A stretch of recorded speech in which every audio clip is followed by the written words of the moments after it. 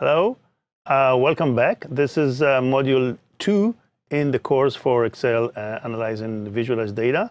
And in this um, module, I will introduce you to something really important, which is the Excel data model.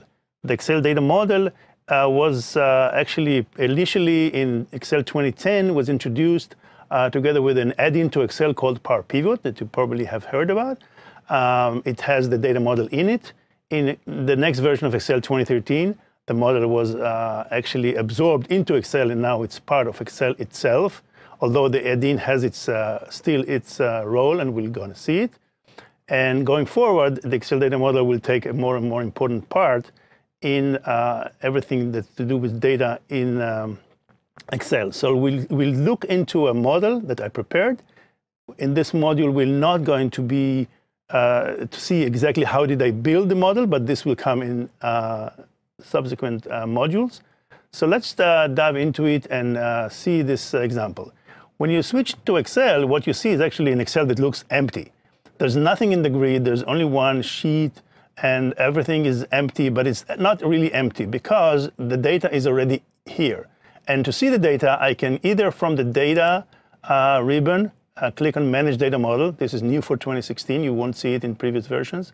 Or from the ribbon for the Power Pivot add-in, you can also switch to the Manage window. And this is an independent um, window, this Manage, that is going is used to see the, what's in the data model. The data model, as you can see, is made of a series of tables. Each one of them is a table. Uh, it looks a little bit like as if it's Excel with, a, uh, with the grid, but it's not. Uh, there's no formulas uh, just in the rows. The, every row is, has the same data type, has a name, and there's no exceptions. It's a little bit like tables in Excel, but more uh, strict. And um, now tables can be um, have, as I said, in this case, the, the largest table only has about 60,000 rows, but it could, we'll see later um, models with uh, like 2 million rows. And, and um, we can watch it this way as tables, or we, I can switch to another view by clicking here, the diagram view in the ribbon, and I will just make it a little bit smaller so all the tables will fit.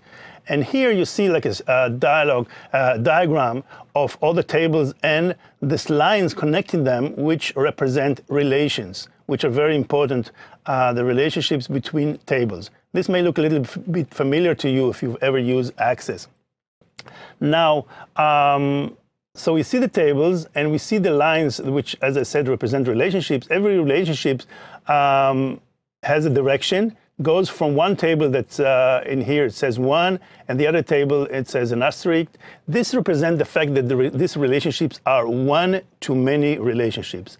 So, for example, this fact internet sales, which is the main table in this model that contains the actual sales transactions, has many rows for each row in the DIM product, which contains a row for each product. So one product, many rows in the fact internet sales table. The same with customers. Many rows in the sales, many transactions. The customer have purchased multiple times, so it will, it will have multiple rows in the internet sales, uh, and one row representing this customer in the uh, customer table. In this example, there is a table called DIM geography, which actually represents cities. Um, so a, um, customer lives in a city. A city has many customers, so there's a one-to-many relationship between customers and the city and the DIM geography. So the same table, DIM, DIM customers play uh, the role of a one against the fact internet sales and the role of a many against the uh, DIM geography. And relationships are what make this model behave as one. I can use this model to, uh, so a pivot table in Excel can use this model as one as if it was one table, and um, we'll see it in a moment. Let's switch back to the data view and look at the content of the fact internet sales. So this um, table has some information about the product that was purchased, the order, date, the customer, the quantity, the list price, and the product cost for each unit of uh, product that was purchased. In order to do some analysis, I obviously miss something here. I miss the actual revenue for this line, which is the order quantity times the list price. So actually, I can add calculated uh, columns to this table that use other columns in the table. So I just go to an empty column and I start typing an expression in a very similar way to what I will do in Excel. I click uh, equals and I click on the order quantity, asterisk or times, list price, enter. Now this will be now calculated for each row in the table. And now I can also go and give it a proper name. Let's say it's revenue. So now I have the revenue calculated.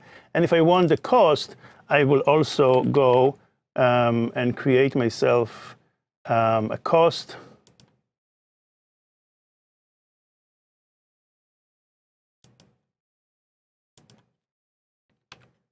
And I will say order quantity times product cost.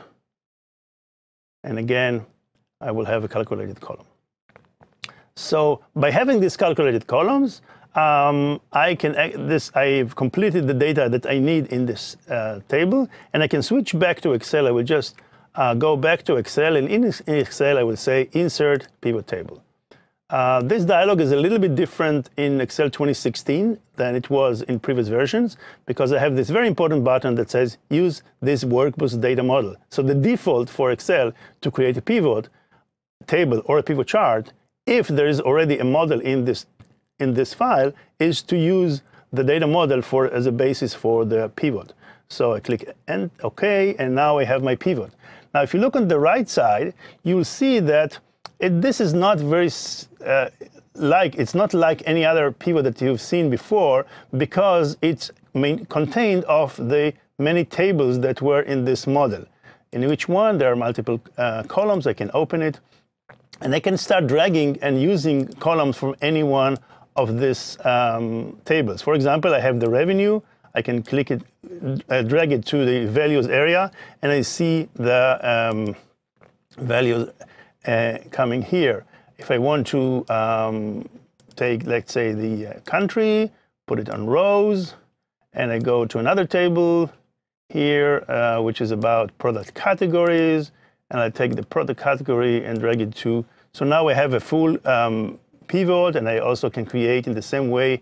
I can create um, from, let's say, from the year. I want to create a slicer. So I do create a slicer, and the slicer is now connected to the pivot and is able to, to um, slice the, the pivot. So I had my model with many tables with relationships the fact that I'm clicking here and I'm filtering on a year, because the year coming is coming from a table called date, and this table is connected or related to the main table, it means that when I'm clicking here, it actually applies the filter to the main table, and I see only rows that correspond to the year uh, 2006. In the same way that this number here for Australia bikes showed just data, the sum of data for Australia and bikes. So I'll, I will close here this part and we'll continue uh, in the next um, video. Actually, it will be a direct continuation of where we stopped. Um, and I will show you a little bit more of the options of what can I do with this uh, model. So see you on the next part of this module.